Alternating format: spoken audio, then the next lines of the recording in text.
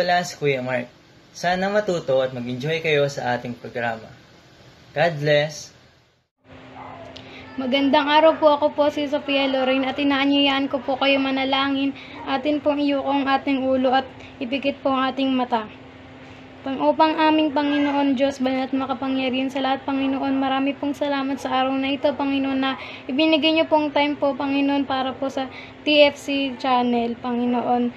At thank you din po, Panginoon, sa mga ipinadala niyo pong manonood dito, Panginoon. Lagi niyo po kasi lang iingat at ganun na din po sa kanilang pamilya, Panginoon, at ganun na din po sa aming pamilya, Panginoon. Sa mga magtuturo po dito, Panginoon, bigyan niyo po sila ng wisdom and knowledge, Panginoon, sa mga manonood po, Panginoon. Nahipuin niyo po ang kanilang puso, Panginoon, na sumampalataya sa inyo, Panginoon. Panginoon, patawarin niyo po kami sa aming mga nagawang kasalanan, Panginoon, at lagi niyo po kaming gagabayan. In Jesus' name pray, Amen.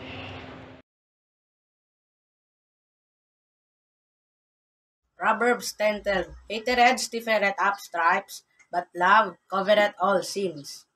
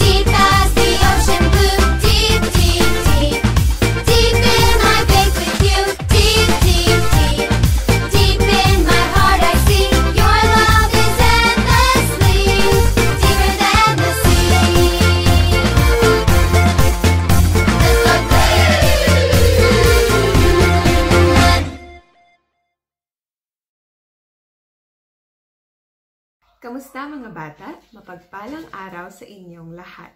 Welcome muli sa isa na namang episode ng The Faith Channel. Naaalala niyo pa ba ang mga unang taong nilalang ng Panginoong Diyos? Tama, si Eva at si Adan. May idea ba kayo kung ano na ang nangyari sa kanila matapos silang paalisin o i-exile sa Garden of Eden? Bago tayo magpatuloy sa ating kwento, meron lamang akong tatlong tanong na gusto kong isaisip natin habang nakikinig tayo ng kwento. Una, meron bang kaparusahan ang kasalanan? Pangalawa, ayon sa ating pagmamasid sa ating paligid o sa buong mundo, masasabi mo bang pabuti ng pabuti ang mga tao o pasama ito ng pasama?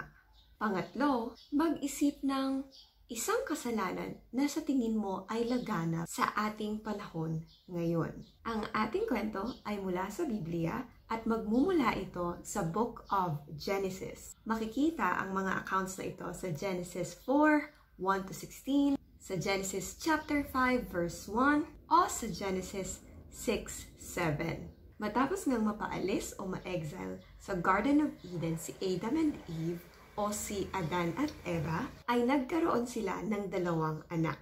Ang panganay ay si Cain at ang pangalawa ay si Abel. Paglaki ng dalawang batang ito, Si Cain ay nagtrabaho bilang isang magsasaka, si Abel naman bilang isang pastol o shepherd. Isang araw ay nag-alay ang dalawa sa Diyos. Inipon ni Cain ang mga inaning gulay at prutas at ito ang kanyang inalay para sa Panginoon. Habang si Abel naman ay tiniyak na best ang kanyang offering o sacrifice para sa Panginoon. Nag-alay siya ng isang batang tupa. Lubos na nalugod ang Diyos sa handog ni Abel. Ngunit sa handog ni Cain, hindi nalugod ang Diyos. At lubos ngang naggalit at nainggit si Cain.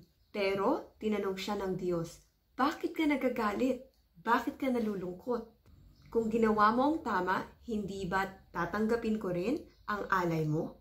Pero iba ang nasa puso ni Cain. Kaya niyaya niya ang nakababata niyang kapatid na si Abel sa isang malawak na field. At dito nga dumanak ang unang dugo mula sa pagpatay o murder.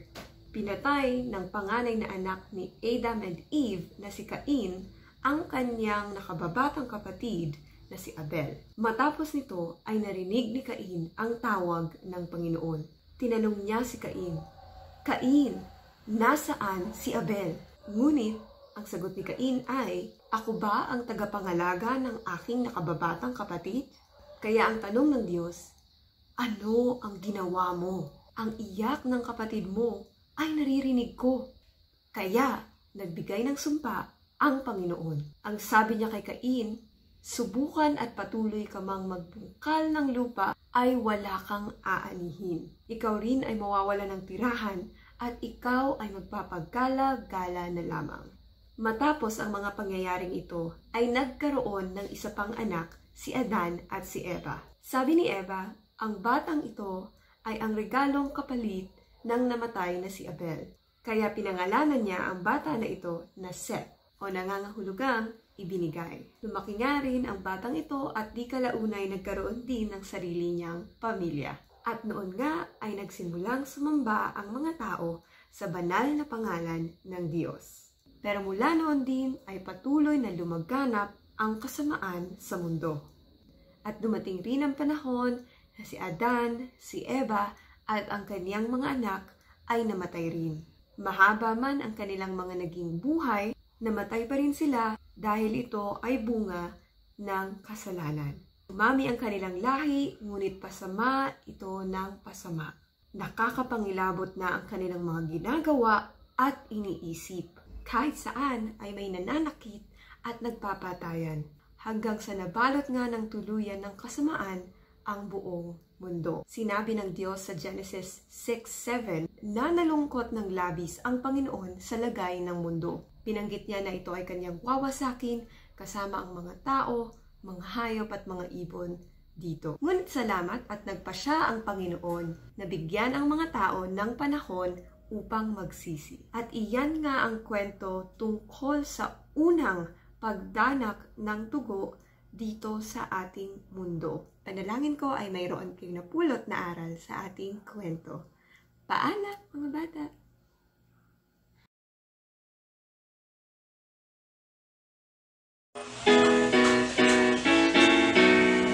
Love of Jesus, sweet and marvelous, the love of Jesus, sweet and marvelous, the love of Jesus, sweet and marvelous, oh, oh, wonderful love, higher than the sky, deeper than the ocean,